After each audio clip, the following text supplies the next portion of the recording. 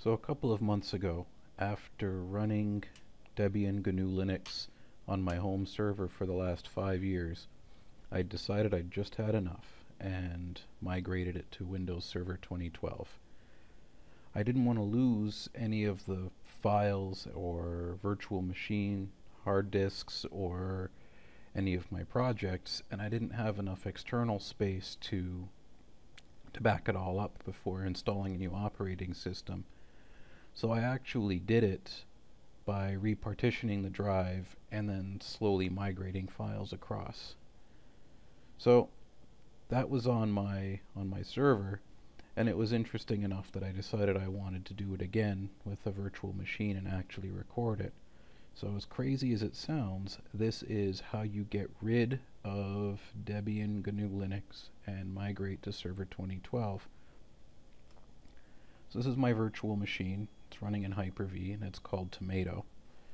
And taking the place of all of my original files, or all of my the all of the files I wanted from my home server, is this placeholder, the very important foo.txt.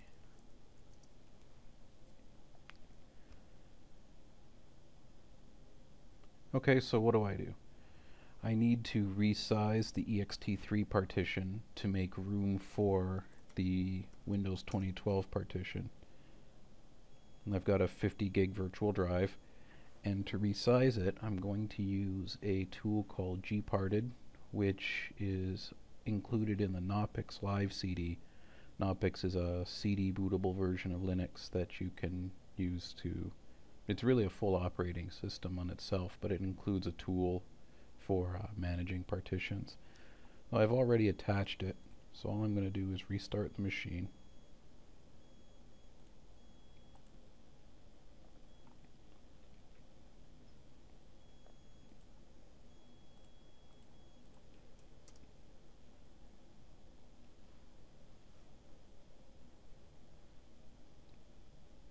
I didn't see any point in making you watch a Linux system boot up.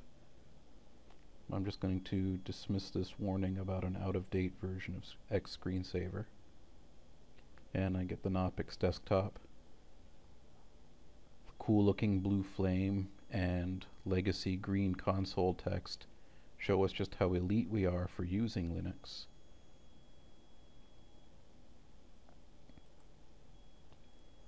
And because most Linux distros seem utterly incapable of coming up with a meaningful user interface, graphical user interface, I'm actually going to have to open a command prompt,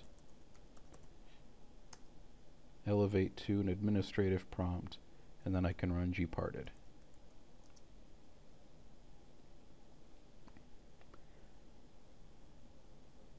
gparted is just a graphical front end based on the GTK framework for the parted tool, which will actually be doing the heavy lifting in the background.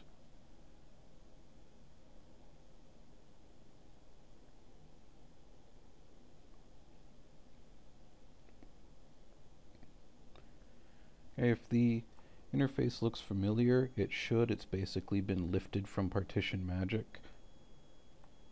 I'm going to put 40 gigs out in front.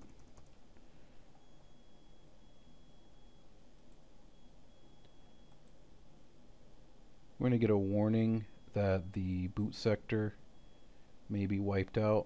I don't plan on dual booting, so I don't care. Just click OK. And click Apply.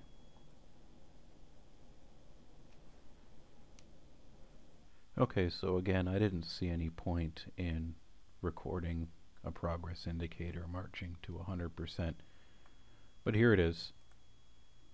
The volume's been resized. So, so the next thing I'm going to do is actually attach my Windows 2012 ISO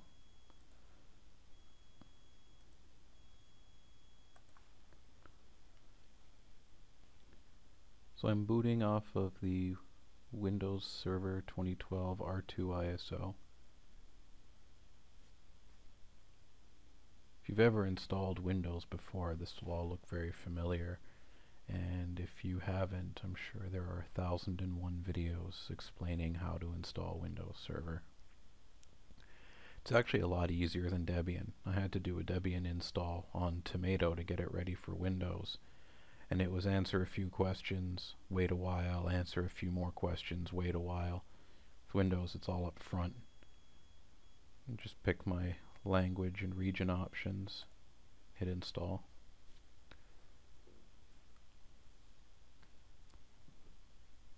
And the only reason I'm here at all is I just want to show you what the disks look like to the Windows installer now that they've been resized by Parted.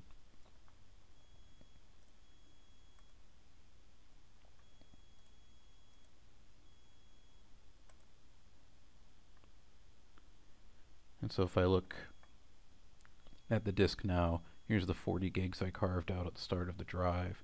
This is what's left of the ext3 partition and this is my old Linux swap partition. So I'm just going to take that 40 gigs.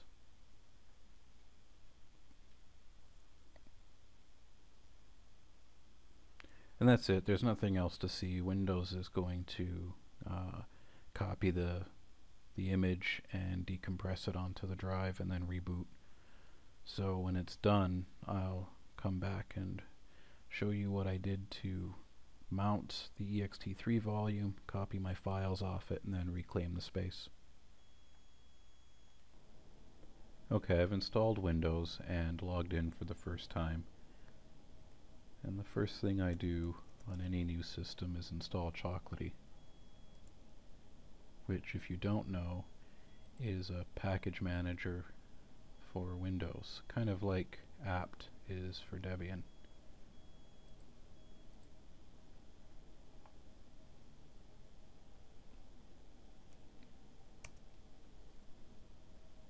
Now I use Chocolatey to install the ext2 FSD package. The ext2 FSD is a full file system driver for mounting ext volumes in Windows.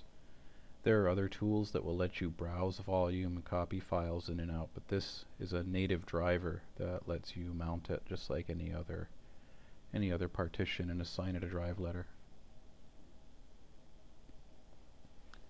Right, so now that it's installed, just fire up computer management really quick.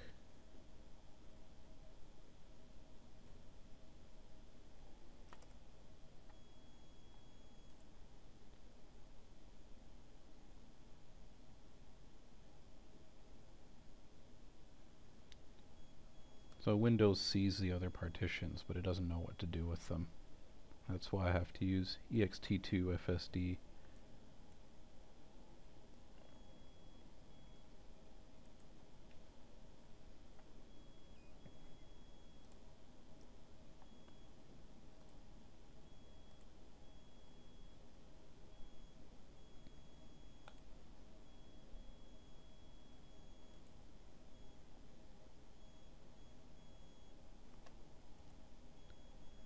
so I've mounted the ext3 volume as the E drive.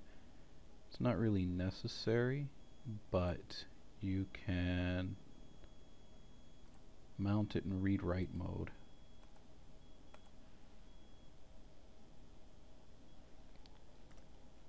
So now if I go to my computer,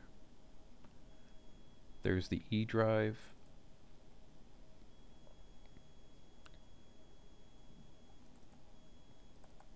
and there's my very important foo.txt which I'll copy over to my Windows desktop.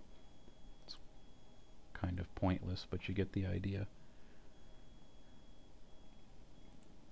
So with that out of the way, I'll unmount the volume.